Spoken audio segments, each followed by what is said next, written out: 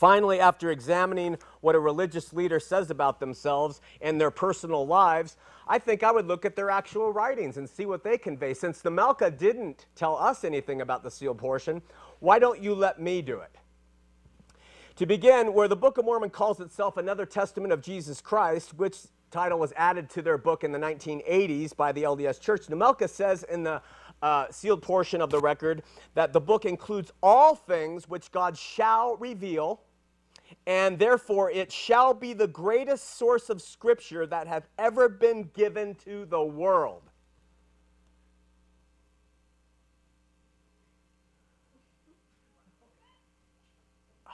And then we come to the actual content. And we have to remember last week, Nemelka said he used a Urim and Thummim, and from those it came the words. Now, he has a whole bunch of different versions on this, but because he admits that he deceives people for their benefit, that we're not only not sure how it happened, but he said on the show last week that he actually translated by placing the Urim and Thummim on there. So we would have to think that the book shouldn't contain error. But in, S, but in SP 5941, it says Passover was the day in which all the firstborn among the children of Israel were destroyed by an angel of God. Christopher, the children of Israel weren't destroyed by the angel of God. The firstborn children of the Egyptians were. Urim and Thummim? Perfect book, greatest book in the history of the world. SP 45:7 says it was the custom of the Jews was to father and choose a husband for his daughters. The custom was for the father to choose a wife for his sons, Christopher. Again.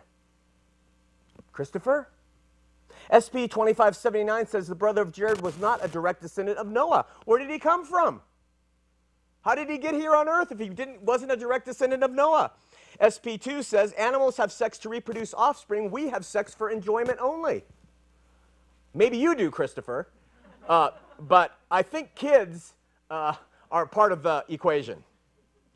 SP 1756 says that within a woman is the power by which she may create only one child at a time. So she has the power to squint and just make sure she only produces one child rather than two, according to Christopher's most marvelous work and a wonder. Uh, SP 730 says the sun and stars receive their, the moon and stars receive their light from the sun. The stars do? SP 36, 8, 58, and 61 says, God doth not speak to man through the written word. That was convenient. SP 3960 uh, instructs the reader to follow Christopher. Surprise? Like the Book of Mormon, there are literary guffaws and illogical phrases in the sealed portion, like empirically invisible. Ooh, what does that mean? Unknowingly find there shall be no exceptions except until I hear I, and or do not hear. This is in the book. Until I hear and or do not hear and expect an answer or lack of an answer. Truly an inspired book, and where Joseph Smith made Jesus a created being, sired by a father in a body of skin and bone, and our spiritual brother Nemelka, like every other antichrist, goes beyond the pale to create another Lord entirely. Listen to this garbage from the sealed portion of what he says about Jesus. You ready? Jesus is dishonest. He does not present himself as true. SP 5369.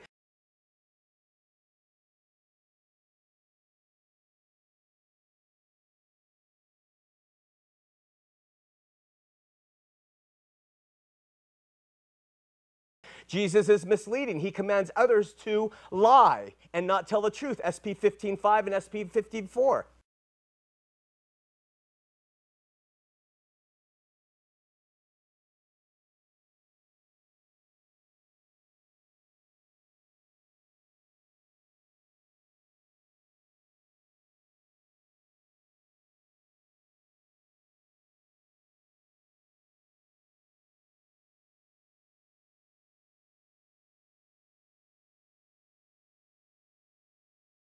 Jesus is deceptive. He winks at deception by conspiracy. SP 47, 24, 25.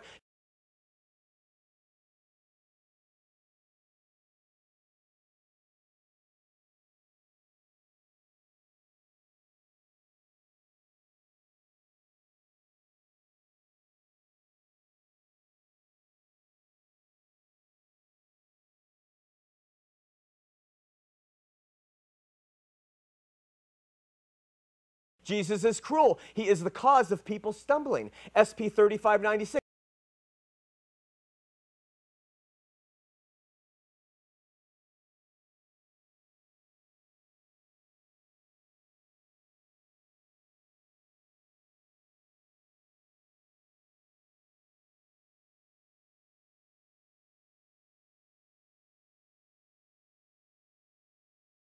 Jesus is lawless. He is the cause of contention and confusion. Contention is spelled wrong. SP 5913.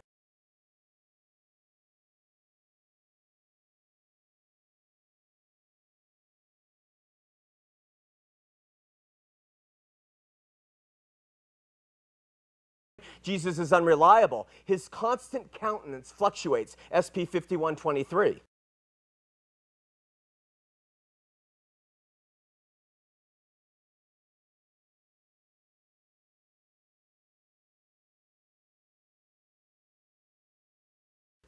Jesus is cowardly. He hides as fear of arrest. SP 59 3, 4, and 5.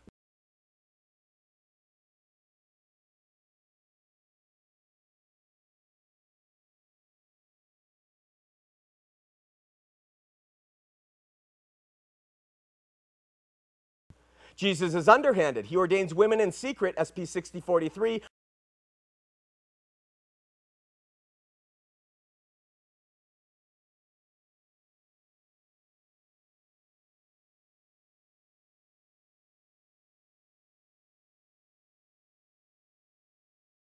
for fear of persecution, SP 619.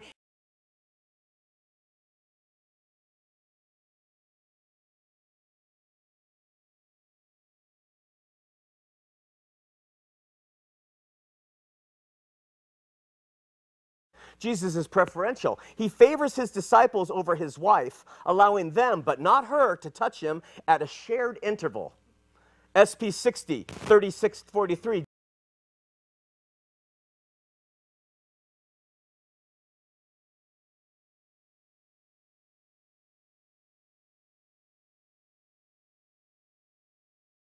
Jesus is detrimental. He places stumbling blocks in his brother's way, SP 3588.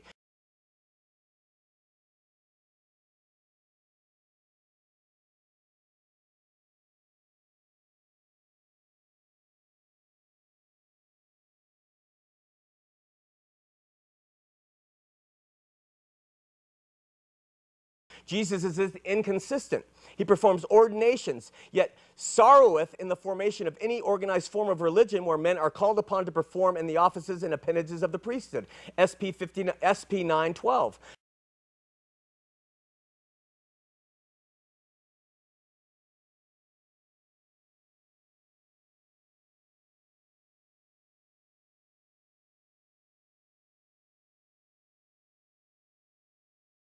Jesus teaches that sodomy is superior to love between a man and a woman.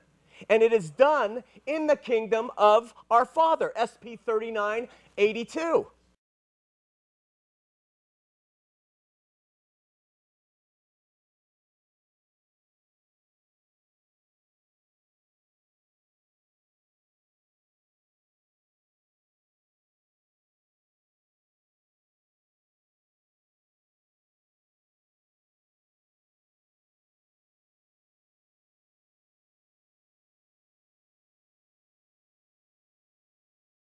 Jesus is adulterous. Why, sealed in marriage to one woman, SP 4546, he lends himself out to other women, SP 4547, for the sake of carnality, SP 4553.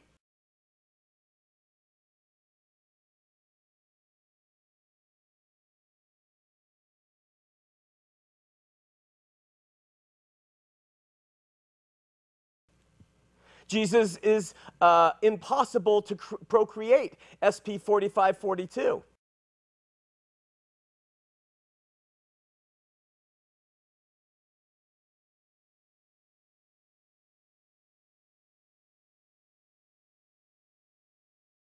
Mortal beings lived and died before the arrival of Adam and Eve, SP 7, 4 through 5.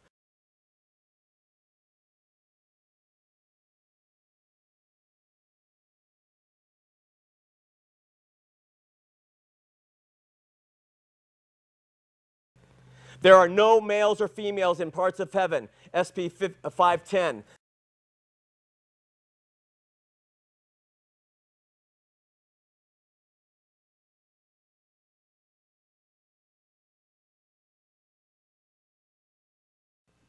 All spirits are without gender. You choose your own gender at birth.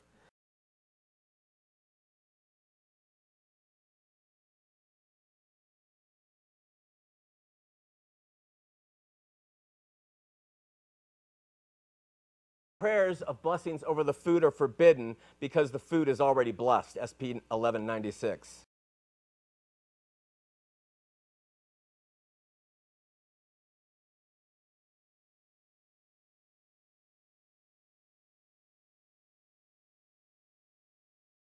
Our prayers are not heard by the Father, nor are they heard by the Son. SP 844.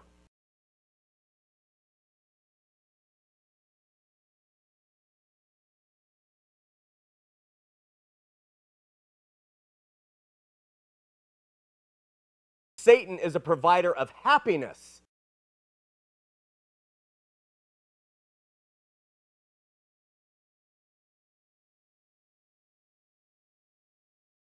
Satan is a teacher of the things of the Father, SP 1572.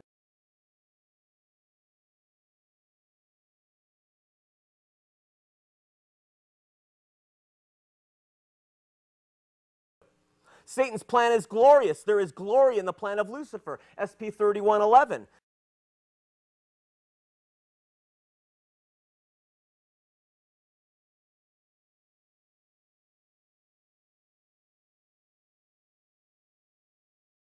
Satan gives power, SP 4843.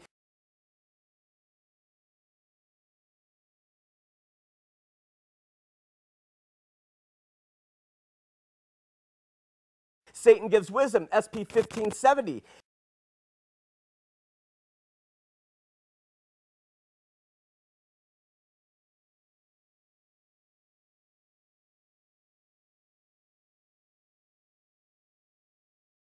Satan has the power to procreate. Lucifer became incarnate, SP 1524.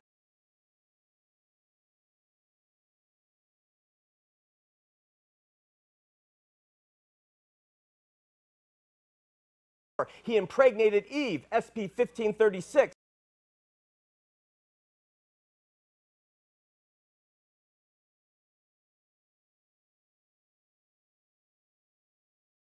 Before the fall, SP 1558, with her first son, SP 1602.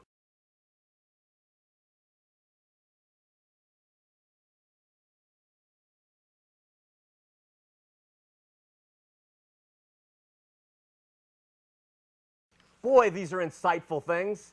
The Bible is so horrible. I just can't even believe how terrible it is compared to this miraculous, this miraculous discovery from the, from the mind and heart of this magnificent man. I think we're done. I think we've nailed the coffin shut on the man who stood here and demeaned the Bible, who was no different than the man Joseph Smith or any other religious charlatan who comes along in this day and age and says, You can't trust it. It's no good. It's a myth. And then has the audacity to say, Read my books because I am so inspired and so magnificent and so well read. But the point remains the heart of the matter is this Latter day Saints, what makes Nemelka any different from the non biblical teachings of your founder?